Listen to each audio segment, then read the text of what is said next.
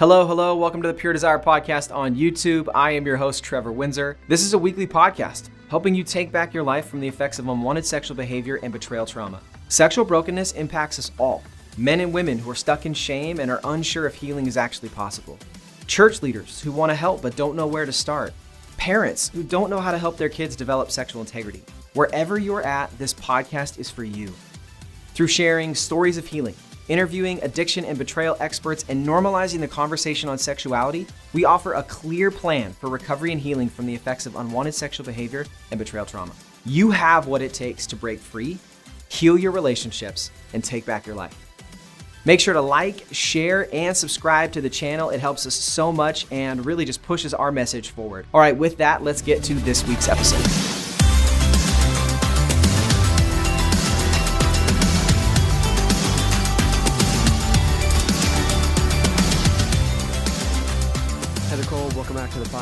For being here. Thank you for having me back. Uh, we are in full swing holiday season right now. And as I say that, I can hear some people cheering and saying, I've been listening to Christmas music for like three months. And I hear other people, sort of like myself, just groaning, like, oh, Christmas. Uh, but either way, the holiday season comes back every single year. And we wanted to look at ways how to stay healthy and manage all that comes with it. And this has kind of become a staple. We've done this a few times now, where around this time of year we have a series that's focused on it, and it's because it can be a trigger season. I remember Dr. Ted saying that way, way back in uh, earlier episodes. Um, so in the past, we've kind of looked, I, in my opinion, looking at the episodes a little bit more of a negative bent to the season and how to manage it. This year, I wanted to look more at a proactive way to maintain health and safety during the holiday season, and this is the Tis the Season series, and the first one is on being assertive. Um, when I say that word, I sort of know what I mean, but I think a lot of people are in the same boat. So, just to create a baseline, what is the definition definition of being assertive? What does it mean and look like to be assertive? So, being assertive is our ability, and usually you see this in communication more than anything else, but it's our ability to be open and honest with our thoughts and our feelings and able to communicate that with other people that we have relationship with. And really it comes out in the way that we're able to be calm and clear in our expectations and really even concise in being able to communicate that this is what I want or I need. Because we also, somebody who's assertive also recognizes that other people who I have relationship with, that they can't read my mind. They don't know yeah. what I expect or what I want or need unless I communicate this in a healthy way to them. And there's another aspect to it that also says that because I I value myself, I see my worth and that my feelings and my thoughts and feelings matter, I also then recognize that whoever I'm talking with so that that you, that I'm going to be respectful of you and I'm going to listen well and and because I recognize that your thoughts and feelings are also that they have value. Mm-hmm. And so it really is this um, this way of behaving and communicating in a way that is very reciprocal and interactive with those that we have relationship with. Does that make sense? Mm-hmm. I think I would have traditionally thought of the word assertive or assertiveness as being slightly negative and maybe associated with people who were uh, just really kind of brash and talkative or arrogant, like they're always asserting themselves into other people's conversations or business. And, and yet, it was actually in my first time through the seven pillars of freedom that uh, Harry Flanagan talks about assertiveness and really helped me see the, the positive side of what it is to let my voice be heard to be able to speak honestly and openly about what I'm feeling or what my hopes or expectations are, and then being able to leave that with other people to respond in the way they seem best. And so I actually pulled out the seven pillars nice. of how Harry Flanagan defines it. And I think he just got it from, you know, Wikipedia or Google or something like that. But in the seven pillars of freedom, he says assertiveness can be defined as the quality of being self assured and confident without being aggressive. Mm. And I, I, like that combination. Like I'm, I'm, I'm self assured, I'm confident in who I am, what I'm trying to say, but I'm not being aggressive or rude or you know boastful in the way I come about. Yeah. He goes on to say, We want men, seven pillars, so we want people to learn the concept of being assertive. Control seeks to manipulate another person's choices. Assertiveness simply allows others to hear your point of view while they retain the right to think or interpret the facts as they see fit.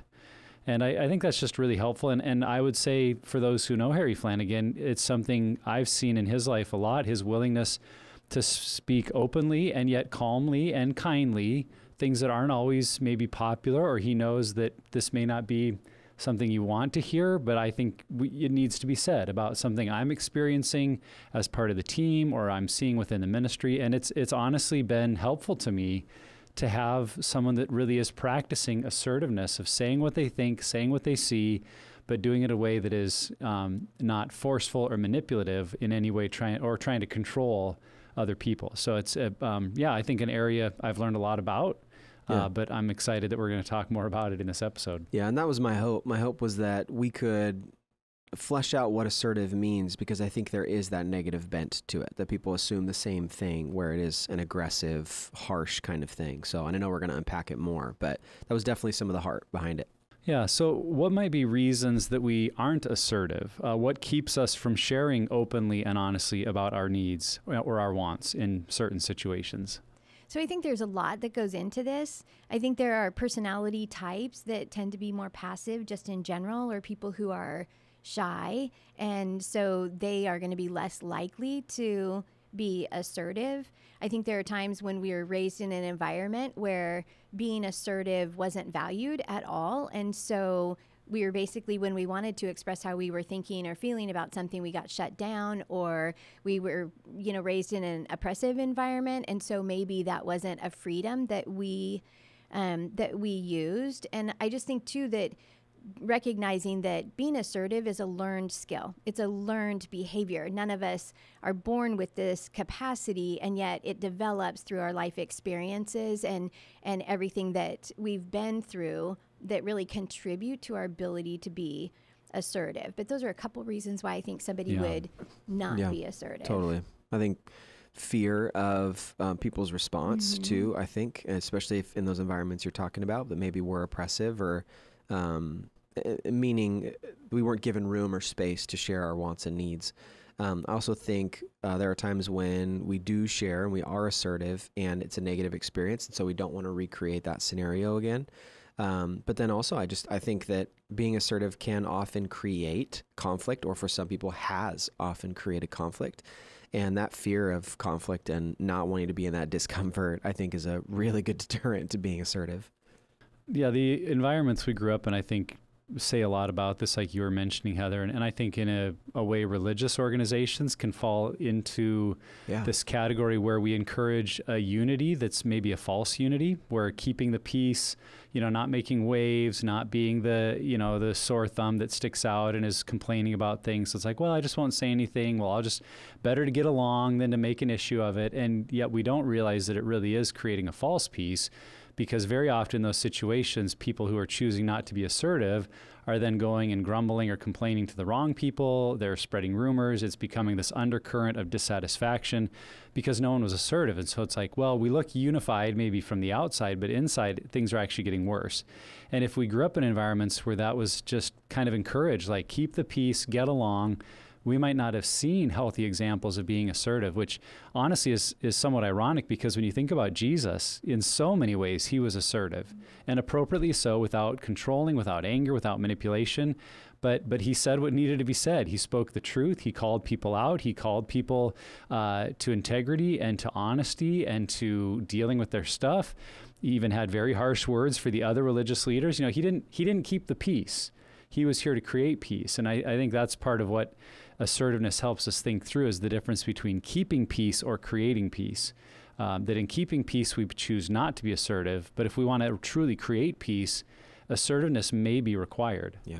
So I, I, know we touched on this a little bit already, but I wanted to flesh it out a little bit more. Some people can see being assertive as the same thing as being aggressive or really forward.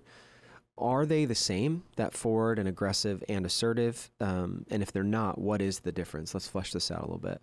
So, being assertive is not the same as being aggressive. And one of the best ways that I like to think about it is that if behavior exists on a continuum, and on one side we have um, someone who is passive, and on the other side we have somebody who is aggressive, then being assertive is basically falls in the middle that we can um, that we can have our thoughts and opinions because again it comes from this place of having confidence or being valued in who we are and and really being able to express um, or give voice to our thoughts and feelings. But even if you recognize some of the differences in that people who are passive usually don't say much or they go along with the whatever the group wants to do kind of thing. But even over time with people who are more passive, they might begin to feel resentful that they even though they've chosen not to have a voice in something, but it really can end up being a submissive stance that they didn't intend to keep, that they find themselves um, overcommitting to things, saying yes to things when they really wanted to say no, and but all of that then becomes a really negative experience for them. Or you have people on the other side who are aggressive, that somewhere in their experiences they learned that the only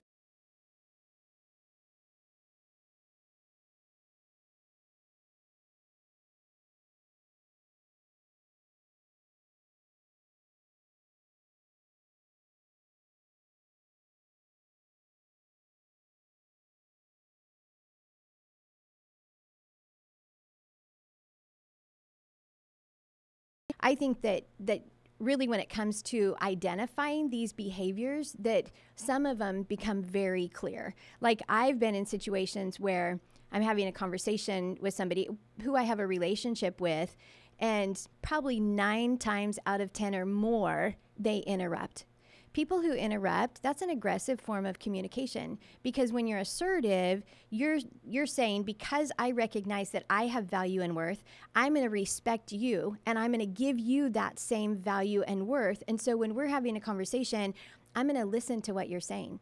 And I'm not going to interrupt you. And I'm not going to quickly reload my thoughts so that I'm ready as soon as you decide to take a breath but it's all of these things that you can even start to recognize in other people's behaviors. And most of the time, somebody who's too passive or too aggressive in their form of communication, then those end up being really negative experiences, like you talked about earlier, Trevor. And so being assertive then draws back to this idea of being confident and calm and concise and very clear in your form of communication that really does end up being something that is a shared experience with the people that you're around. Yeah, it occurs to me that you could be aggressive or assertive using the exact same words. Yeah. That, that mm-hmm. someone Totally. being aggressive often will also power up, as you mentioned, Heather, raise their voice or yell, maybe even get bigger, stand up, move, lean in, their posture, their facial expressions. And so if you're having a conversation about like where to go out to eat, I could say kind of simply, I don't want to go to that restaurant to let my voice and opinion be heard. Or I can get a little like, I don't want to go to that restaurant. You know,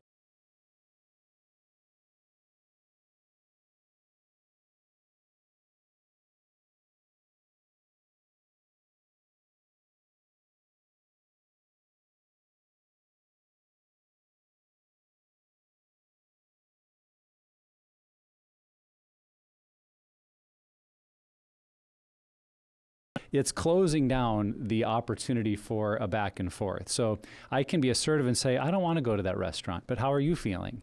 And, and so I've stated my truth. Now I'm looking for yours. We're going to go back and forth. And maybe in the end, I'm able to say, that wouldn't be my pick, but I can see you want to go there. And I'm glad, I'm glad I'll find something I like. Let's go there. Uh, but if I'm aggressive, it's like, either go where I want or we're not going to go anywhere. And that that really becomes in again controlling and manipulation in a lot of conversations. And it is interesting that as you give yourself more value, your voice, your needs, your wants, that how that can easily open your eyes to the needs and wants of the other person too. That I'm one I'm maybe another episode down the road like where assertive and empathy connect because I can see that connection or it leading to that. The more assertive we can become if we're more aware of other people's needs and wants, that can help grow our own empathy too. I don't know. So if if we aren't normally assertive, and I, I, think for people listening, they can probably find themselves on that continuum you were talking about. That for some people, they maybe recognize I go into aggression too quick, and I need to learn to maybe scale it back and and learn healthy assertiveness. But many others listening probably would say, "Well, I'm more on the passive end. I tend to just let others do what they want. I don't speak up." If if we're more in that category, how could we practice or learn appropriate assertiveness?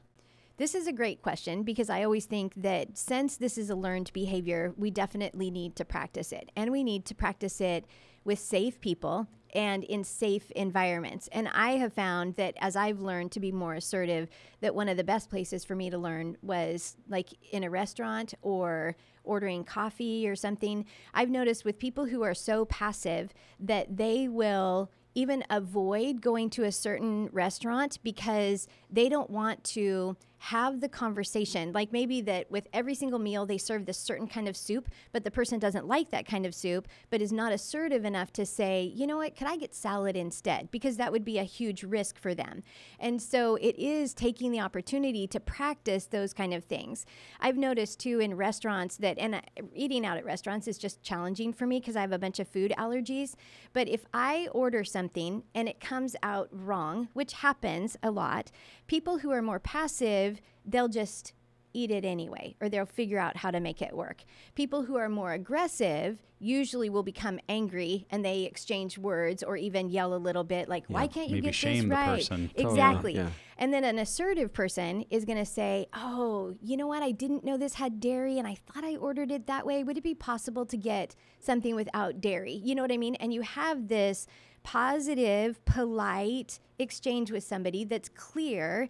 And most of the time, people are like, oh, I didn't catch that. I'm so sorry. Let me fix that for you. You know, but it again, it has to do with this interaction more than it has to do with either I'm just going to accept my life and that they got it wrong again and I'm not going to say anything about it or I'm going to get angry and but it isn't any of those things. It's just recognizing that we make mistakes. All of us do. We're human. But yet, how can we have this exchange that's not going to end up in conflict, that's not going to end up in anybody getting their feelings hurt, but is going to be a positive experience and really proactive to making sure that our needs and expectations are met?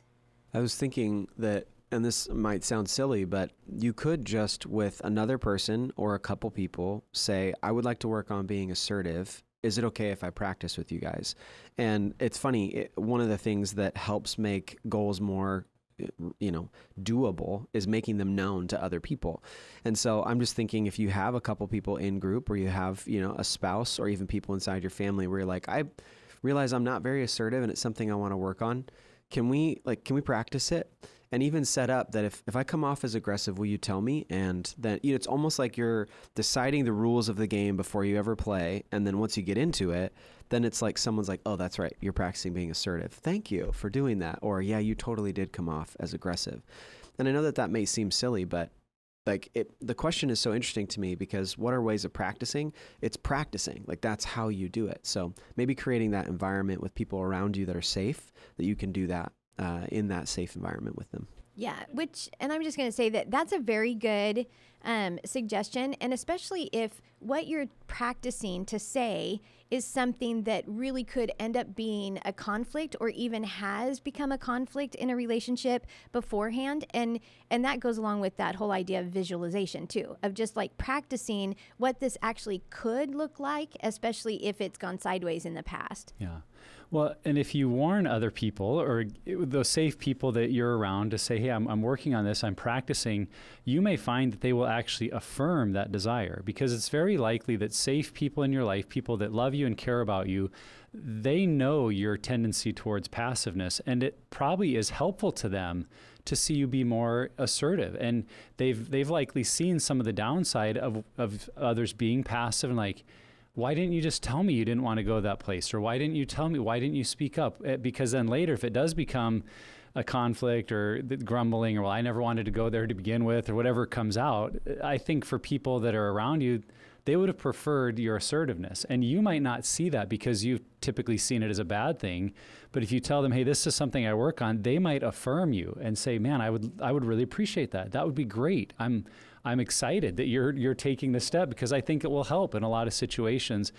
And then uh, the other thing that came to mind in terms of practice, I think we can identify places in our life where we tend to gravitate towards passiveness. You know, Heather mentioned restaurants but I think all of us probably have places, even if sometimes we tend to be more outspoken or aggressive, we probably have places where we go a little bit into that passive category. And it might be with our families that we gather with around Christmas. It could be when we're on trips. It could be with certain relatives or parents. Um, it may be in a work situation. It could be related to how we use vacation time or spirit. There's just any number of places. If we looked at our life, if we looked at our week, we might realize, man, here's an area where I am always feeling something, or more often than not, and I rarely, if ever, say anything. Okay, what could I do? How could I, in that specific area, take one step towards assertiveness? And maybe that's the plan also that you could tell other people to say, you know, at work, I'm always being given this task that's not my job. And I don't think my supervisor realizes how much time it's taking or adding to my plate. My goal is this week, if I'm asked, I'm at least going to ask them if they realize that it's a three hour job, that that's how long it takes, or you know, something along those lines, that then you're, you're kind of planning because you've, you've, you know yourself well enough to see, just like Heather said about restaurants, when I go there, I just kind of go into passive mode and it never works out well. I'm going to try to do things differently. And again, maybe that will happen with some of the holiday gatherings.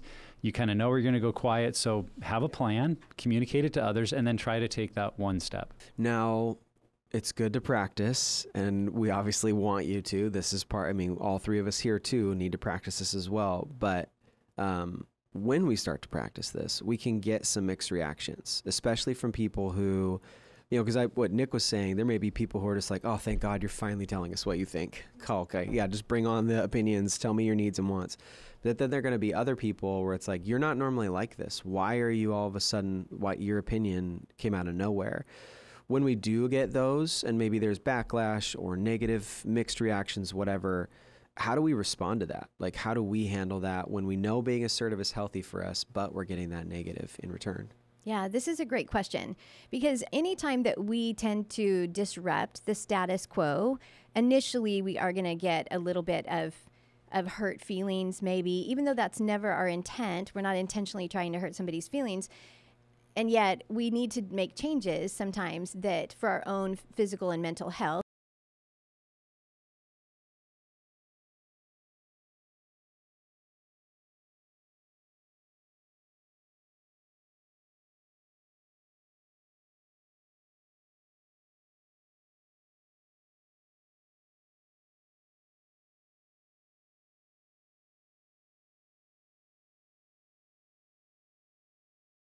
and and at what point does it become an unrealistic expectation? Like if I have to pack up my kids and go to three different family events in a in the same day, that just seems like a lot for it anyone. Is. It is yeah, a it's a lot of food too. it oh, is so much. But being able to say that, okay, I can see how you know talk with your spouse. I can see that we could do these two things pretty easily, and they're close together, and it's not going to be very much effort. But this other one, maybe we should have an assertive conversation with that person and say, you know what? We just have a lot going on on this day. Would it be possible for us to get together sometime during the week after Christmas when things slow down? Doing that kind of thing. Because a lot of people, even though it might not meet their expectations, if you have that same level of respect with that person, then to be able to, for them to say, oh, yeah, I can see how that would be a lot for you and your kids. And sure, let's just set something up after Christmas. But sometimes, even like we've already mentioned, depending on the relationship, that could be a lot of risk and they might not even receive it very well. And it might get to a point where you have to say, I really, you know what, that's just going to be too much for us. So we're not going to be there on that. But if you guys have space in your week next week, let us know and we'll try to work something out. You know, where you just have to say, where you're not really shutting the door, but at the same time, you're saying, I'm not really going to engage in this conversation anymore because I don't think I have to because I've already made this decision and it's best for me and my family to do what we've decided.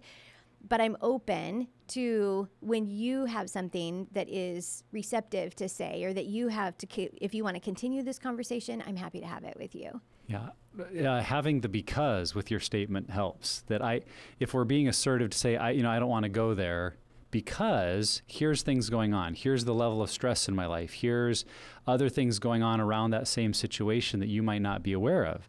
Because very often, when we're assertive with some of our reasoning and people are able to see, like, oh, I, I can understand better what's going on, I didn't realize that, that is you know more likely I think to create a positive outcome. But what else I was thinking about is I don't think we should ever assume that if we're assertive or we speak up and someone has a negative reaction that we did the wrong thing or that we shouldn't have been assertive. And that may be a real battle if we're not accustomed to being very assertive, and especially if we're a people pleaser, you know, raise our hands in the room, that, that wants everybody to like us all the time and approve of everything we do.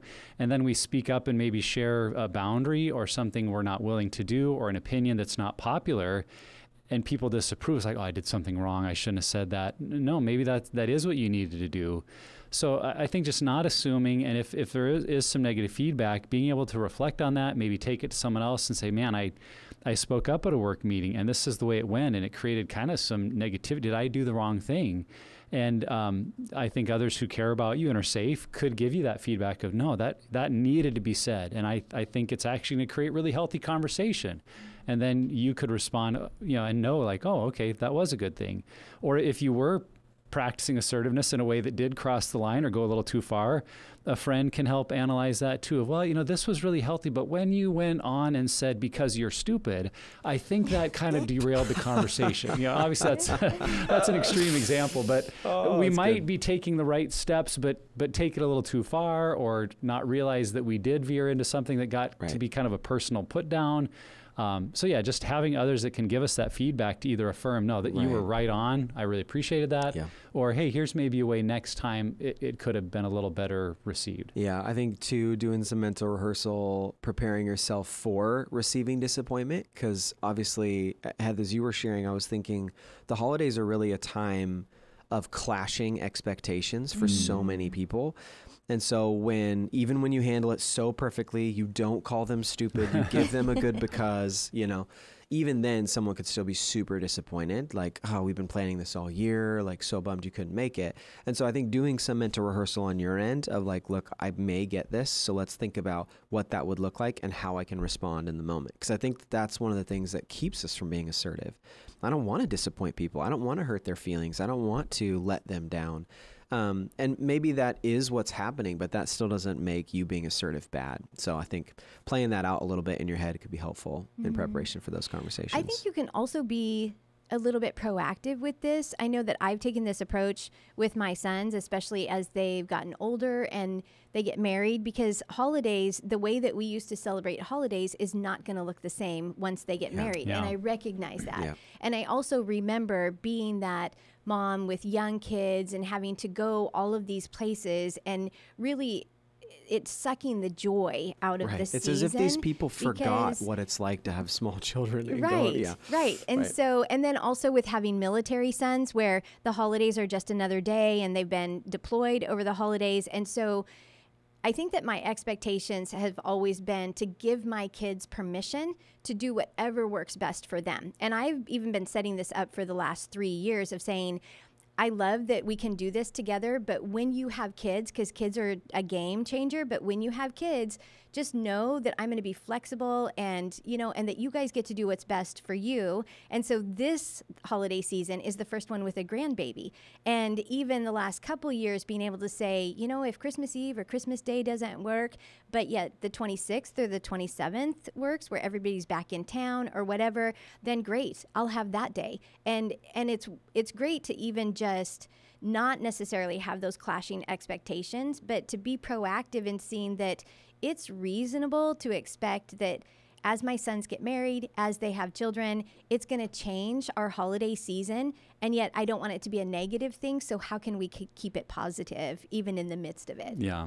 Yeah. I like what you're saying there that you're basically giving other people permission to be assertive. You're, you're inviting it. You're saying, I, I want you to tell me your needs. I want you to mm-hmm. speak up about the reality of your situation. I want you to tell me if I'm overstepping or creating unrealistic expectations. Please speak up. And so I, I, think if we do feel like people around us maybe do wrestle with being assertive, we know they tend to go passive or they just they want to be a pleaser. That's a role we can play to help. And so, um, thinking of you know the why to do this because we have talked about that it might not be easy, it might create conflict. So why do this? How does being assertive help us on our recovery and healing journey?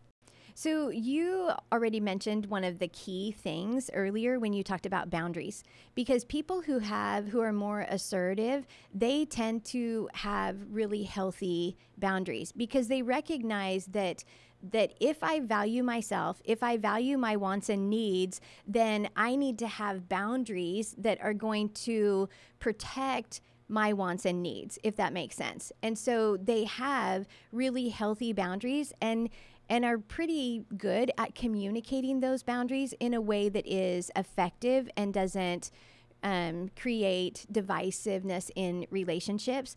But the more that I think about assertiveness, assertiveness, it seems like it carries this package of things that we talk about all the time, like having boundaries, having a growth mindset, being able to um, communicate in a way that really does preserve relationship, that it doesn't cause conflict, that really all of those things, being more emotionally intelligent. I think all of those things, the more that we learn the value of being assertive and how it really does protect us and it protects our relationships, you can kind of see this, I don't know, this bubble of all of these things that work together to create this um, i don't know if it's an ease but it does seem to make you recognize the value of being assertive totally and uh, being assertive is like entering into a double bind because mm-hmm. you know that it's a lot easier to be passive in the moment but then you also know if you're not assertive that then you may feel discomfort later. And i just i was as you were answering i was writing down that like lack of being assertive can equal potential discomfort and we see that with people who are uh, like overly passive it tends to blow up later down the road but when we feel that discomfort that's what led us to unhealthy behaviors in the first place like that you know, it's like incongruent inside and we don't know how to deal with it. And so, a way to get rid of that feeling is to numb out with pornography or acting out or whatever it may be. And so, definitely on the recovery side, being assertive can be that proactive thing that you're doing to actually manage what's happened to you in the past when you when you lack to be assertive. And so I think it's actually a recovery tool in some ways being assertive because it actually keeps you out of those difficult sticky situations where you get triggered emotionally or things happen uh, that would once cause you to go to those unhealthy behaviors. Yeah, you were talking about boundaries, Heather, and I want to go back to that because I think when we use the language of boundaries, a lot of us maybe go towards, well, that's for the betrayed spouse, mm, the one that's been yeah. infringed on, um, has had harmful things done to them in the relationship. They need those healthy boundaries, not only with their struggling spouse, but with others, and you know, learning to have their voice. And all of that's true. But I just wanted to bring up that the same need exists for people who struggle or yeah. have had addiction to be able to be assertive and have boundaries about what they need. Uh, because going back to what you said, Trevor, it, it is a lack of having our needs met that leads us into unhealthy behavior. We've talked about it a lot, and Ben Bennett says it on the podcast that that pornography or other forms of acting out sexually are illegitimate ways of meeting legitimate needs. Yeah, that's good. Well, if we don't know how to be assertive and express our legitimate needs, then we will continue to go towards illegitimate ways of of meeting it. And so when we've got those guardrails in our life that keep us from those unhealthy behaviors, and we maybe feel ourselves gravitating towards them or starting to hit guardrails that we've set up around our behavior, it's in being assertive that we can tell others what we need or what's going on inside and say be able to say to someone you know I'm, I'm really just looking for some affirmation. And that doesn't mean you know your spouse can always be the one to meet it but you can think through boy if i need affirmation if i need a sense of being reminded who i am where can i go to get that? Is it to the word of god? Is it to friends that encourage me? Um, is it doing an activity or a hobby that kind of makes me feel good about my skill set. What that, that might look like a whole lot of things, but if I'm not assertive to say what I need, I will probably in in isolation find less healthy ways to meet that need. Totally. So assertiveness and boundaries are key whether you are the betrayed spouse or the one mm-hmm. who's been struggling and battled with addiction. Yeah. Yeah, and I really appreciate that you uh, brought in seven pillars and talked about assertiveness in that. It is also in Unraveled and Betrayal and Beyond and The Compassionate Warrior, where we talk about because it is really a skill set that is has a lot of value in recovery and healing. Yeah. Mm-hmm.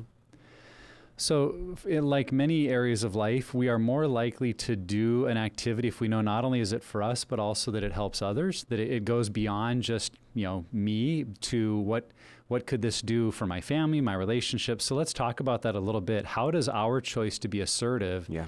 Potentially help our marriage, our family, and friends around us? I think that it's the same way that we talk about with people who are in recovery and healing that you work on your healing first and that there really is a little bit of this trickle down or this overflow that happens when we start to get healthy then it seems to affect all these different areas in our life and especially our relationships. And i think that when we practice assertiveness even though we've talked about how it could be a little bit divisive at first especially if you've always been the passive one in the relationship and now you're making changes in that but i think in the long run it really is one of those things that the more that we practice it and the more that we even see how effective it can be in promoting healthy relationships, that it does tend to be something that people notice about us. Totally. Yeah. And it's something we can do in our families. I mean, I think of something my therapist told me uh, that um, we like the basically the script that we've been given with our family of origin is the it gives us the perfect ability to recreate that exact same situation in our current family.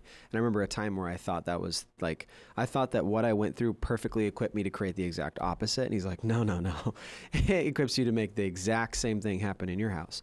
And this is a way to counteract that. If you grew up in that oppressive environment, the lack of safety in your house to be assertive, if you start being assertive in your own home, that creates a place where everyone's voice is accepted at the table. Everyone's needs and wants are important and are valued. So I think it's also something that we can do to change the trajectory of our family and the health of our family if we can begin to be assertive. And like that, like you said, it's just gonna it's gonna trickle down to the people around us.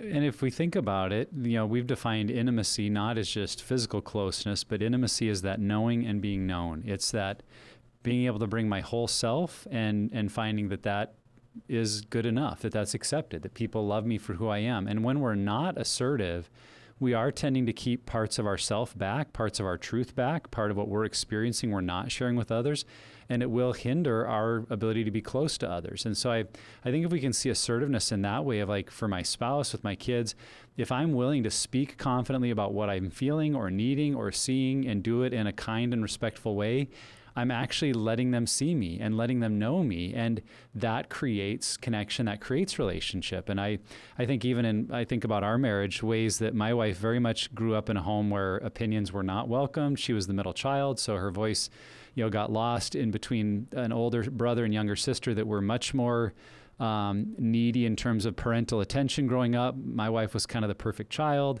uh, always got her homework done, you know, those kind of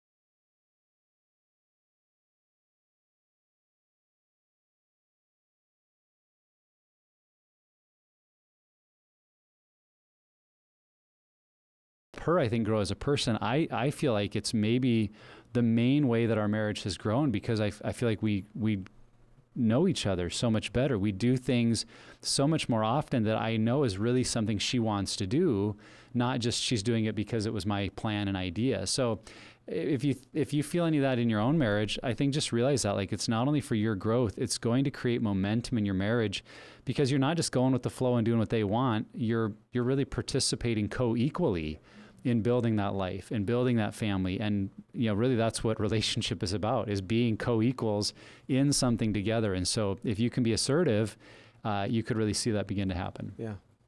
So let's land the plane then. Um, and this is, you know, you can be a final encouragement, whatever um, you want it to be here. But why is it so important to each of us in our encouragement to our listeners to be assertive during the holiday season? We've kind of already talked a little bit about this, but I think that it's a time of year that is busy beyond our normal tasks and even events and it seems to carry a little bit more stress. Even if it's positive stress it still is stress that affects us physically and mentally and i just think that for us to be able to be assertive not in a selfish way to think about what do i want this holiday season to look like? How is it going to benefit my kids and my spouse and even just all of our family in general to be more assertive. I just think that there's so much value in taking that first step. And we've already talked about practicing things. This doesn't mean that you're going to have to practice it with every single person that invites you to a family event. But if there's something that, like you were saying, Nick, that tends to be something that every single year this is just a stressful environment and I just go and I show up and I don't say anything, maybe this year you're going to take that one opportunity to practice with safe people and be able to say something out loud that is assertive, but just so that you can share your needs and wants in a way that is healthy and not get kind of walked on during the holiday season or overlooked or any of those things that sometimes happen during this busy season. I find it funny and kind of sad how often during Christmas or the holiday season, I, I will hear people say something like, well, let's just get through Christmas. yes. Or let's just get through the holidays. And it's like, when did that become the goal? And, and if that's what we're doing year after year, maybe it's because there's not assertiveness happening to create healthy change or a better rhythm. And so you're, you are just getting through and not saying anything in ways that, that could help. And so if you feel that, like maybe this year when you hear yourself saying, let's just get through Christmas, it could be a, a little warning light of going, wait a minute, why do I keep saying that? What about it is, am I unwilling to maybe face something or deal with something that that yeah maybe creates a little initial challenge but could make things a whole lot better uh, the other side I would say about why it's so important at Christmas and holidays is there is something very real about when we gather with family, particularly our family of origin, that there there can be a tendency to revert to old ways or former ways of thinking. I mean, you may literally be going to your family home and sleeping in a bedroom that you grew up in as a kid, and there is a part of your brain that kind of clicks back to being you know 10 12 or 14 or whatever age you kind of most identify with in that home and and you may shift into a mode of just well mom does her thing dad does his thing my brothers fight whatever has happened keeps happening and if you're not assertive uh, you're not going to grow. You're, you're going to go back to that place and go potentially back to unhealthy behaviors. And so being assertive means being an adult. Being an assertive means acting your age in a good way and it might mean saying things to family like you know i'm i'm 30 now. I don't i don't like that the way i did when i was 12 let's could we talk about a different way to do this? Or you know this tradition made total sense when we were all 4 and 5 we're not anymore. Why are we still doing this because it's actually really awkward or, or uncomfortable? I don't like taking pictures yeah. in the bathtub anymore whatever the, yeah whatever the conversation might be hopefully it's you know not to that extreme yeah, but you hopefully. know every family has its oddities. Totally. I, I just think that is the value of you're you're not that age anymore. And if you find your brain reverting back there the danger is the, the same unhealthy behaviors that you dealt with then could come back. So being assertive keeps us present and i think it, it helps us mature in those relationships where honestly we, we may need it most.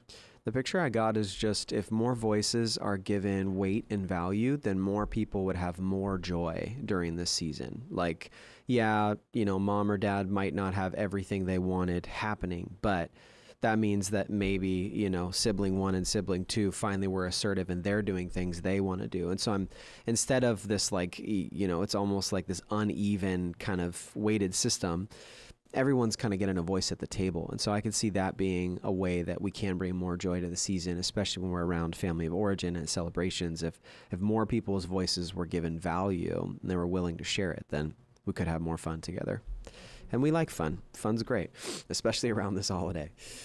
Uh, okay, so tis the season to stay healthy. That's very clear. Uh, we really want this to be true, and we really hope what we just talked about with that last question is what your season is like. That being assertive is helpful uh, for you in your context and that it brings more joy. We do hope and pray this conversation helps you to take the courage, because we do think it takes courage to be assertive uh, during the holiday season, and it, as we talked about, is an important piece of the recovery and healing journey. So, Heath, thanks for joining us talking about assertiveness.